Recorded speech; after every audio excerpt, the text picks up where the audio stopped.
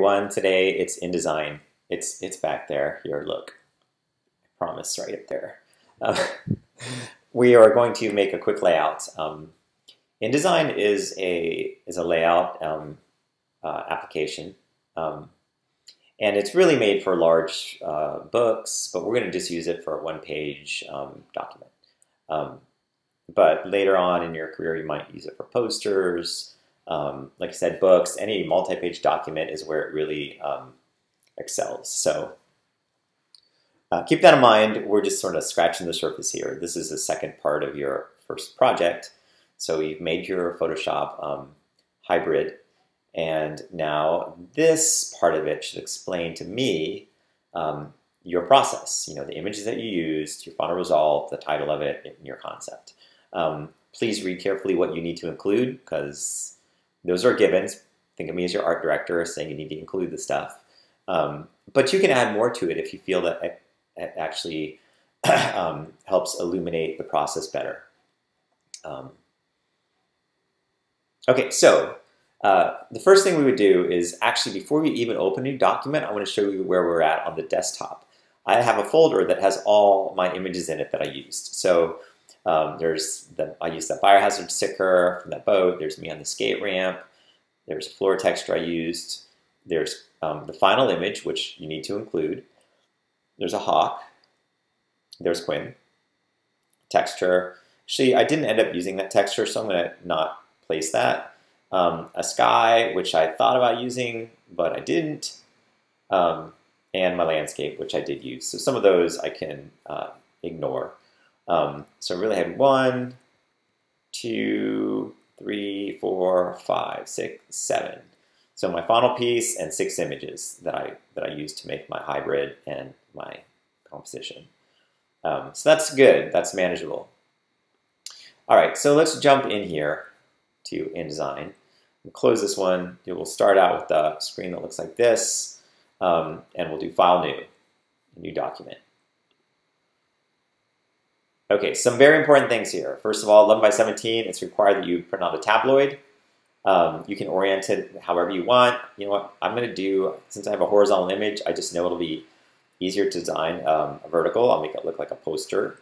Um, don't click the facing pages. We don't have a multi-page document. This is important if you have a, um, you know, if you have a left and right page because they would have different um, gutters, probably, um, you know, where the binding is in the middle it's going to affect your left and right pages differently. So um, facing pages would be important in that context, but not here.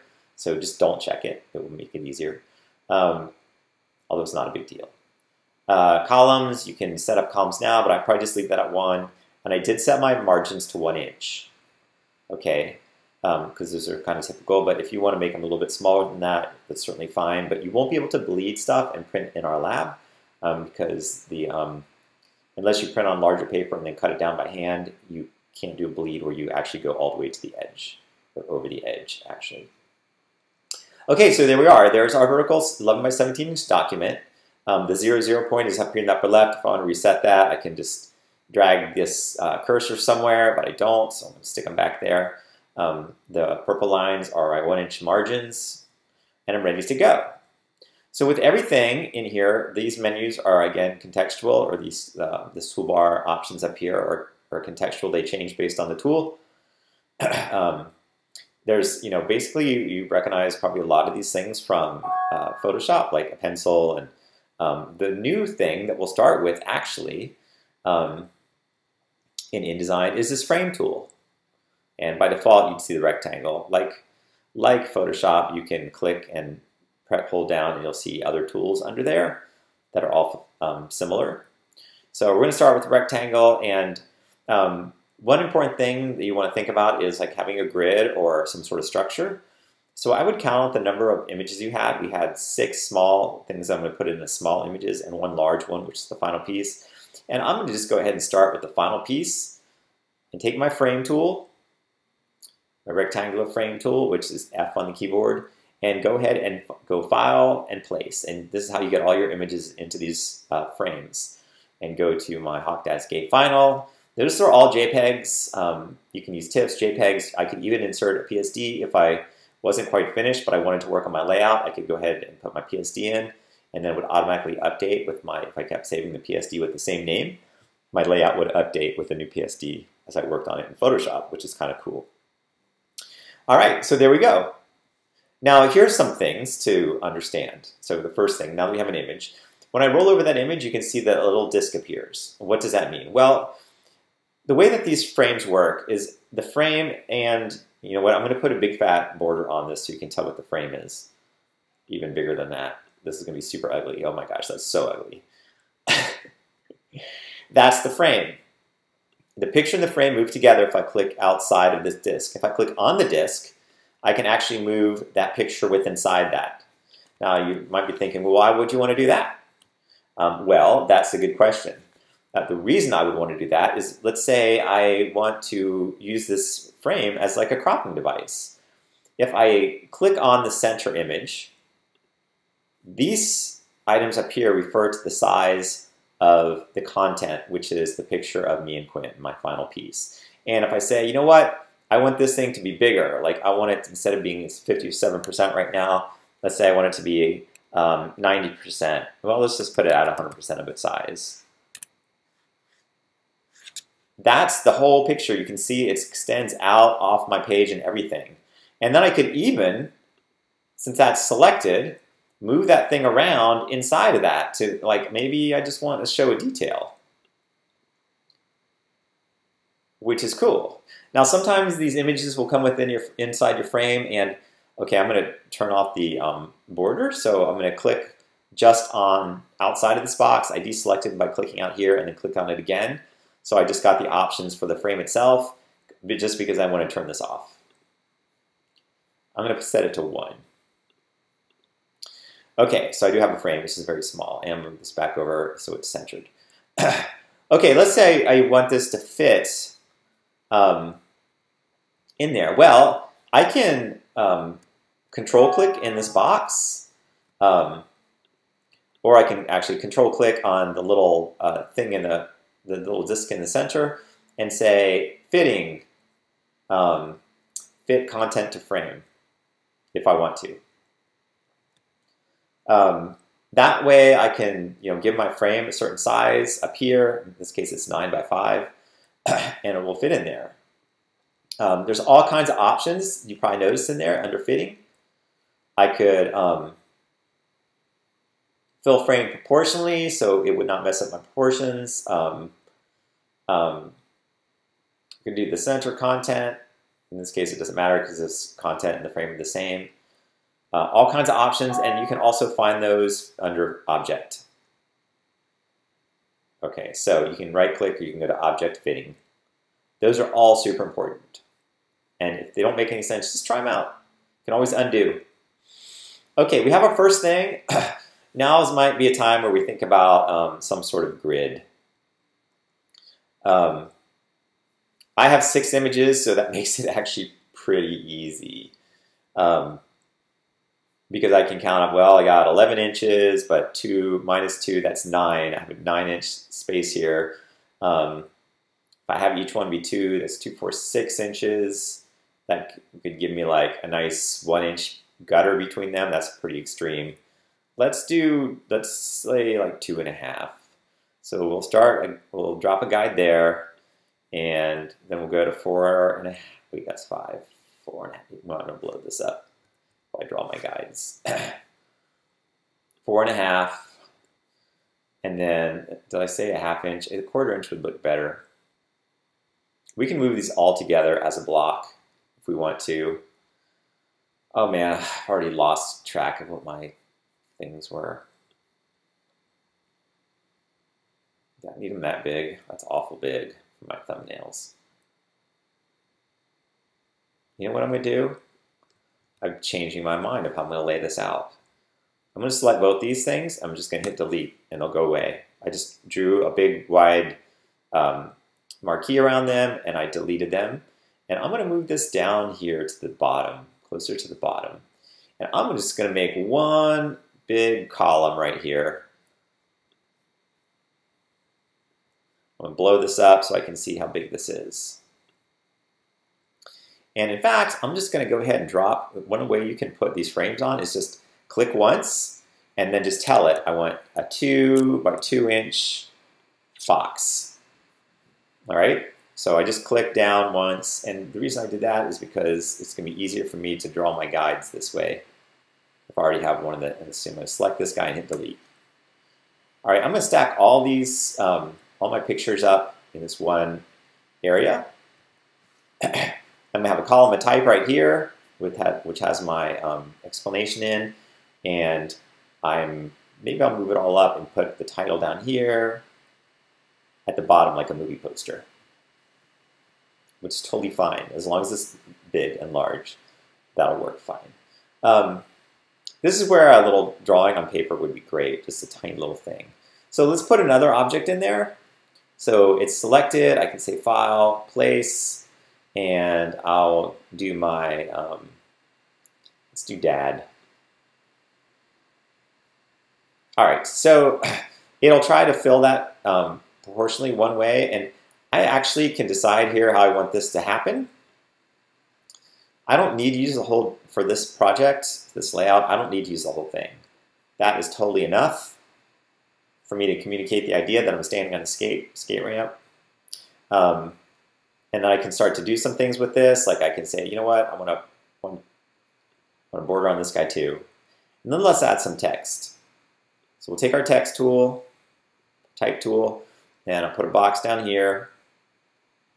We go from, and blow this up. It's Command plus, just like in um, Photoshop, by the way, to zoom in. And of course, there's also a zoom tool down here, like just like in Photoshop. And there's some things you should read the assignment because it tells you exactly what you have to include in the layout. Though, like I said, you can include more. So I need to include the title. I'm going to call this um, dad. And I can use a comma, but that's kind of typical. I'm going to use this bar thing up here on the keyboard. And I'm going to say this is a digital photo. And I shot this in 2002. You don't have to use the exact date and some type of space and other ones. And then, you know what? What is this? This is Minion Pro as default. I'm not going to do that. First of all, I don't need a 12 point either. Something more like 9 point would probably be better. Um, but we'll wait till we pick out the type. I wanted um, Myriad for this. So I'll do Myriad because um, there's a nice condensed version if I want to use it. I use this a lot for all my stuff, so it's sort of my font for things like this. My display font will be more more crazy. Okay, so, and then I want to, um, I'm to put it over on the right edge. And because it's the title, maybe I'll use um, metallic for that.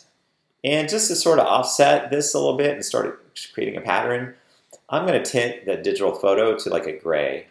So where there's this type color, I can just say, you know what, let's just do 50%. We could also, there's also, you can mix up colors here and add colors. It's not a big deal. There's a little drop down here, so you can do um, uh, swatches, tint swatches, and things like that, um, and add colors here. So there's that little uh, hamburger icon to work with. All right. So I've got that box formatted, and that's going to help me quite a bit because I've sort of made like a little template for how I want everything to look. I mean, I want the rest of them to be formatted the same way. So what I would probably do at this step is just draw a marquee around all those elements, not the bottom part, but these, this and the text box, and then option drag it. And you, when I option drag it, you see when I have the cursor over it, it gives me, let me blow this up again. It gives me the um, icon, just like in Photoshop, with um, a dark arrow and a light arrow. That means copy. So when I drag it, it'll copy the whole thing. Now you're like, well, I don't need two of those, and you would be correct, but we're going to replace um, everything first. The, the idea was I'd keep the formatting, although now I've decided uh, I need to move these up a little bit closer to the picture because I have too much of a gap. So I selected them both and moving them both at the same time since I want to be consistent. Okay, so what do I do here? I'm going to put a different picture in there. So I'm going to click on that little um, disk. I'm going to say File, Place, and just go for, with my next floor texture pop that in there. And I can size that and rescale it if I want. Obviously, this is also a digital photograph from 2000, 2002. Good job. That's dyslexia 2020. Um, it's not my floor is not called dad. I'm going to call this garage floor. I can title it whatever I want. Notice it's got the formatting from before. I don't have to go and make this tinted again, and I don't have to make this italic. Um, so my consistency is right there. So cool. So that's how I would do all of that. And then I would, you know, go ahead and put my um, my uh, gutter in there, my margin, and go ahead and drop in some type. I would wait till all these are put. It looks like I can fit three in here and three in here. I might have to do a fourth one, but we'll figure that out. You know, the great thing about this program is you can you can also group these things together. By the way, like if I wanted, I could take this whole block and go um, object and group, Command G, and then all I gotta do is click on one piece and the whole box moves, and all of the other piece moves with it. So now that it's grouped, I can do that. I can also go and ungroup it later on if I want. So, you know, moving all this stuff around and changing our layout is super easy. It's only a single page that you guys are doing. Um, but let's put some type in here. And um, also two inches. All right. So we can put our little type thing in there and I'll just draw a box like this. And I'm going to insert for now, because you guys don't want to see how slow I type, some placeholder text. And do some, um, so first of all, I don't want to switch types. I'm going to use the same type I used before, Myriad Pro, but maybe I could use condensed this time. I am going to use a slightly bigger um, version of this, maybe let's do like 10, and we'll increase. So one way to make it look more professional and easier to read is increase the leading, which is the second thing. Forget what that is, just hover over it and it'll tell you. Leading is super important. Uh, if you've ever had a teacher tell you to submit your um, paper double type, double spaced, that's from the old days with typewriters where you would literally make two spaces. Um, you know, you'd hit the return thing on the typewriter carriage twice, so you'd have an extra blank line between them. And that just made it makes it easier to read if your teacher was going to read 30 pages papers were 10 pages each. That's a lot of reading. They don't want to like be hurting their eyes. So leading is something that professional um, uh, typesetters use a lot, um, and just professional designers use a lot. In fact, when they talk about type, they talk about the, the type size and the leading. So those numbers are usually given like the type would be like 1020. Very important. Now notice that when I did that, I got this little plus here. That means all my type is not fitting. So if I had, you know, created this great description of what my project was about. Um, I'll move this off here just for a second and draw another uh, another box. Let's say I have two columns type. I'm gonna have to draw another margin. Okay, there we go. So, and they'd probably be about the same size for what, you know. Let's do this, and then we'll take them and put them both down here aligned with that. All right, alignment, very important. Okay, so that little um, box here, there's a red plus. That means all my type's not fitting there. And let's say I'm pretty committed to basically this size type because um, scale-wise, it works really good in proportion with everything else on my page. So what do I do? Well, you can actually click on this text and then click on this box and it'll show you a little icon of all your type. And then you can click in another box, and what that does is it automatically flows to that next box. Um, and you can see this in, in, in, in, watch this. So if you click twice, you'll get a word, by the way. If you click three times, you'll get um, a line. If you click four times, you'll get a paragraph, paragraph, paragraph. And if you click five times, you get everything. So we're going to click five times to get everything, or we could have just done select all in that box.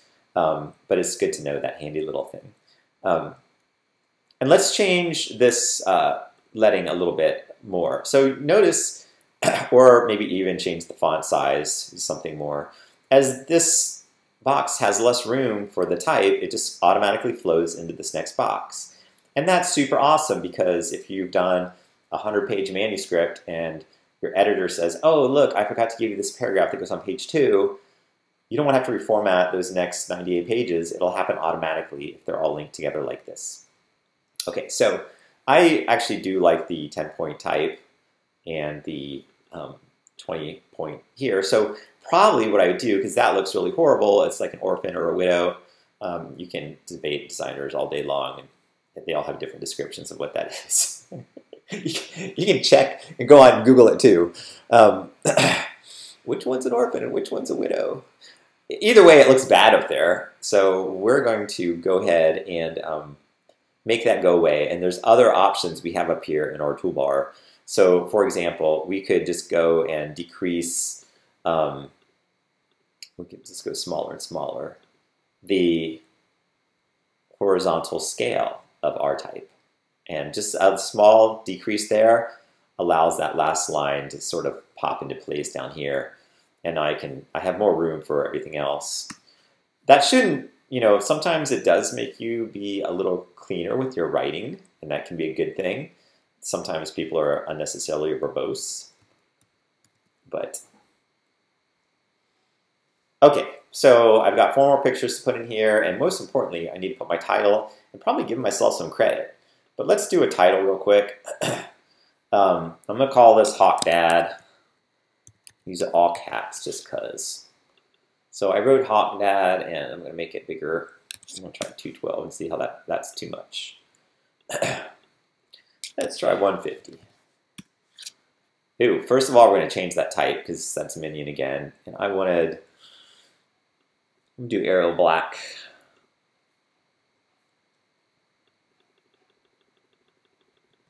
See what I need to get it in there. Oh my gosh, come on, there we go. That's exactly what I want. 112. okay. I should probably, with something this, this big, do a little bit of kerning, um, which is the space between the letters. Like this hawk, this A looks like it's got a lot of space because it's next to a W. See all this room in here? So all I need to do is put my cursor in here, and if I hold down the Option key and use the little letters on my keyboard, it'll decrease that space. All right, that looks better. I can hide all these guides and columns too under the view menu. There's hide extras. There's hide guides. There's all these hiding things that you can do under the view menu. And that will make it easier to, to see if I need to. I can actually now, now that I have the kerning, I'm going to make it a wee bit bigger so that I can use all, oops. It's okay, I'm going to just make it here bigger here. All right so I can center this visually. All right, and you know what? Remember what I did with my type? I went black, gray, black. I want to do that here. I'm going to take my tint and put it like around 50%. Okay. You could, so don't, you can also, if you want to rotate your type, you certainly can. Um, if you hold down shift, it'll constrain it. Maybe I want to do something cool with like another column of type. That's certainly possible. Um, don't stack your type. That's pretty awful most of the time. Like, you know, have the word hawk, like one letter on a row.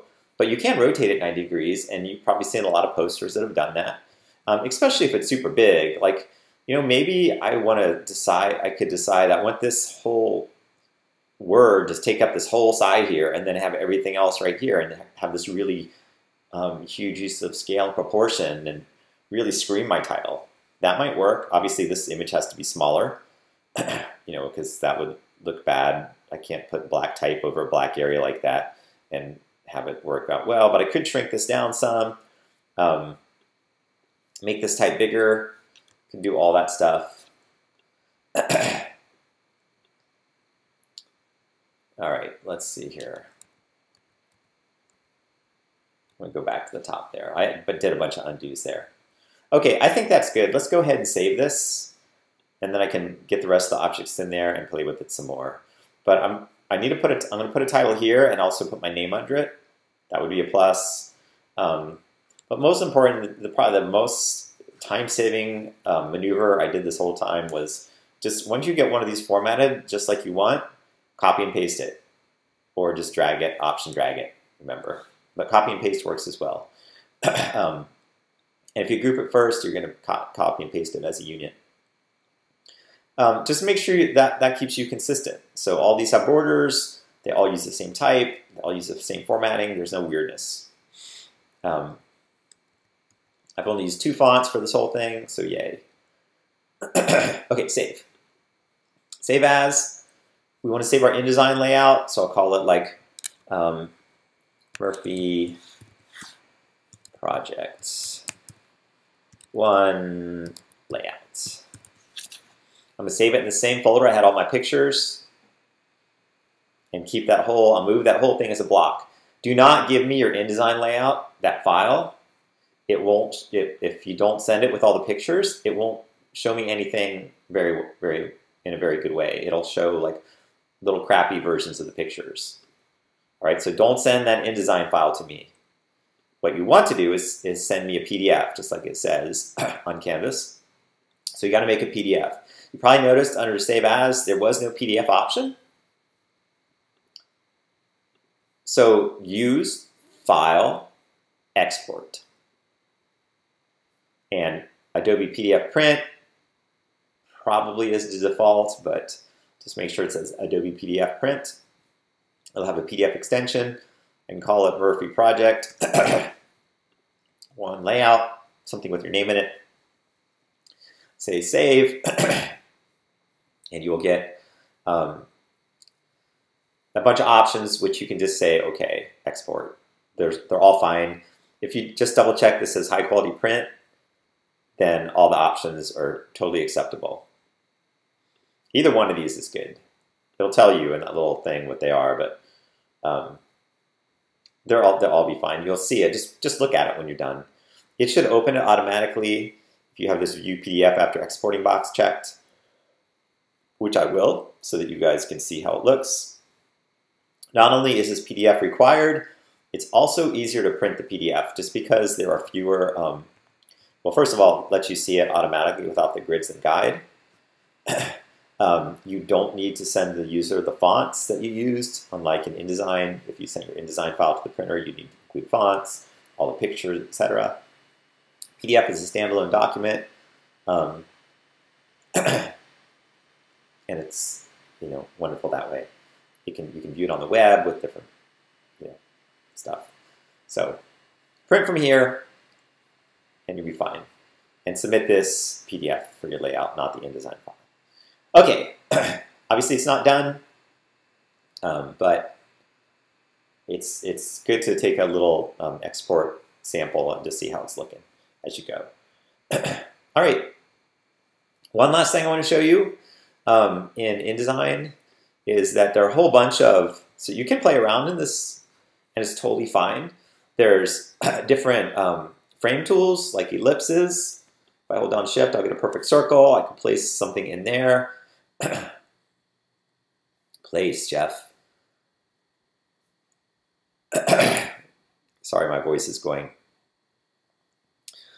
Um, hmm.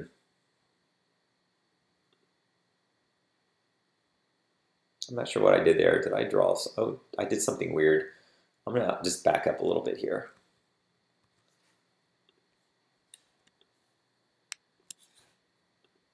Okay, I'm not sure what I did there.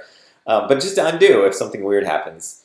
So place, let's do the hawk and put it in there. So um, move the hawk a little bit within my frame. I can still do things like put a, a, a border on this if I want to. In this case, would be a round border. Um, this would look really horrible with my squares. It doesn't make any sense. This one would, I mean, obviously the hawk is important, so, but it definitely will get more attention. Um, perhaps a better way to do that, I could make all of these circular, circular, and I that, that would be fine. I mean, it would still communicate. I could have me in a circle. I could have the texture in a circle, the sky in a circle. Only thing that would look a little weird is the landscape, but I could make it work. Um, and have them all like drop like little balls down to this. Don't put this one in the circle. That might be hard. But I could round the edges or something a little bit to go with the idea. Um, I just wanted you to know that was there. Okay. There's also line tools and basic drawing tools and things like that in here, should you need to add anything like that. Okay, now I'm definitely done. I'll print out, print out the PDF and show you how to print in class. And if you have any questions, just email me. Okay, thank you. Stop this thing.